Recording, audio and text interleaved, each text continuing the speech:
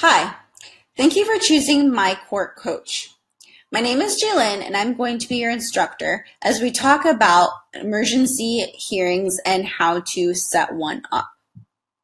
First question is, what is an emergency? What do the courts actually consider to be an emergency? Because not what most people think to be an emergency that requires immediate attention is the same thing as what the courts see as requiring its immediate attention.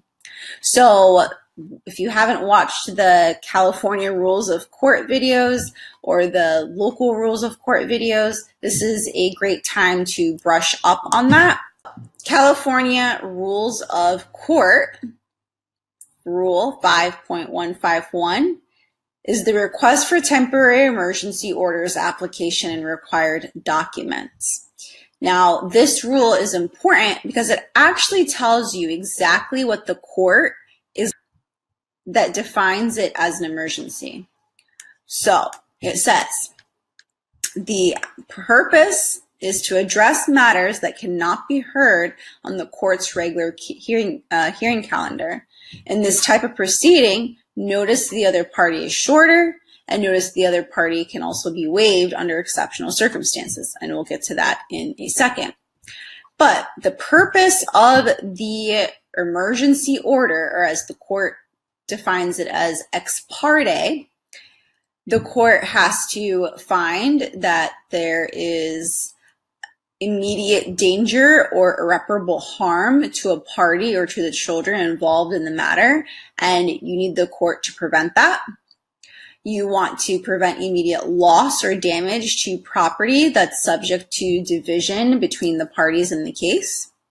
Or you want the court to make procedural matters, such as setting a hearing on a matter that's sooner than that of the regular hearing, and that's called, called an order shortening time or you want the court to shorten or extend a time that's required for you to provide documents to the other party um, regarding a, hearing that you have on calendar and documents supporting that. That's also another order shortening time. Uh, and then, of course, if you want to continue or reschedule a hearing date or a trial date, those are the only circumstances in which the court will even consider your ex parte application. Now, it varies from judge to judge what the court or what the judge believes to be a, a, a legitimate emergency. And sometimes when the court doesn't see it to be a legitimate emergency, they won't even hear you. They won't even entertain you coming into court and presenting in front of them if one of these requirements are not met. They'll just flat out deny it. So it's very important in order for you to not waste your time, the court's time, and also your money. It costs $60 every single time you file um, an emergency application. So in order for you to have a chance of having the court hearing you, you need to make sure that one of these requirements are in fact met. And this is the reason why you're requesting um, the court to make immediate orders. So it goes over what required documents are needed in order for you to apply for an emergency, and we'll get to that in a different video. It talks about the contents of the application and the declaration, and again, we'll get to that in a different video as well. But if you needed to go back and figure out, okay, whether my matter is an emergency or not, this is the rule. This is the rule that you have to look at to see whether, okay, what am, what am I asking? Is it really immediate danger, irreparable harm to a party or to my child? And I mean, the best way to answer this question is, do you need to call child welfare services right now? Do you need to call 911? Did you take your child or yourself to the doctor? Now, is that the sort of emergency that you're having? Because if so, then you're a perfect candidate to file for an emergency hearing. But if you haven't really taken any of those steps and it doesn't rise to that level, then the court is probably not going to grant your emergency request. So it really depends on how you um, persuade the court as to what you think is an emergency and why urgent action is needed to take uh, place now versus, you know, three weeks from now or three months from now. So the other thing that we want to address is how do we set up an emergency hearing? Now that we've established that, yes, I do have an emergency that I need this court to address it now. I need the court to address it tomorrow, for example. Well, if you wanted the court to address it the following day, and the following day is not a court holiday, so the court is open for business, then you must, you must follow the rules, the local rules of your county.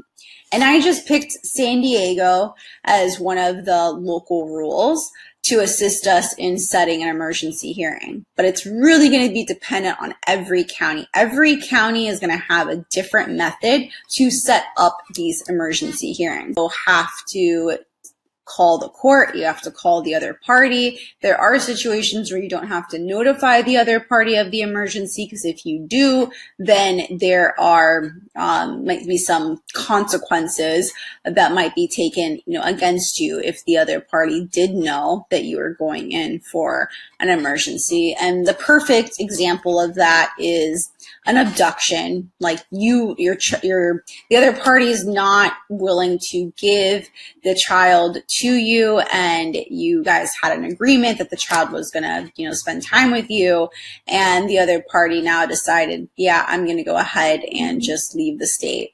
And they've already threatened that, and they've already not only threatened, but actually taken steps to um, remove the child from the state. And essentially, it's the equivalent to an abduction. Um, it's not considered kidnapping, but it would be considered a, an abduction. Um, and in which case, you would not want to tell the court that you are going for an emergency to get an order for you to have your child not be removed from the county or, or to have the child returned back to you. So in certain circumstances like that, you should not notify the other party, but it's going to be very case specific. And every county has their own rules as to how you should set up an emergency. Um, the one for San Diego is Rule 5.3.1 and it states how you should set up the emergency hearing. Um, so to summarize, you need to call the court clerk or the ex parte line. Every uh, county has their ex parte line um, that you would need to call. And then you would need to tell them your case number. You need to tell them why you're going for the emergency and whether there's an objection to that emergency. And then after you notify them of that, you also have to notify the other party um, again, if you can notify them, if you cannot notify them and you have a really good reason not to, such as an abduction, then you wouldn't notify the other party. And you have to do this notification before 10 a.m. So if you're going tomorrow for an emergency hearing, you have to do the notification at least by 10 a.m. the day before. And then you also have to provide them the documents that is supporting your request by 2 p.m. You gotta provide it to the other party by 2 p.m. and then you have to provide it to the court no later than 12 p.m. If you're 1201, I mean, depending on which courthouse you're in, they won't accept your paperwork.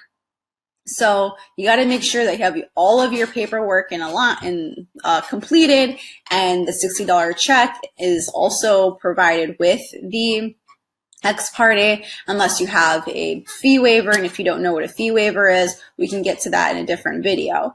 But for this emergency hearing, you'd really have to follow what the county um, is guiding you as to how to set up an emergency hearing. So this only applies to San Diego and um, the California rules of court just tells you exactly how or, or why you should set up an emergency emergency hearing and the information uh, in that emergency paperwork we'll get to that as well in a different video.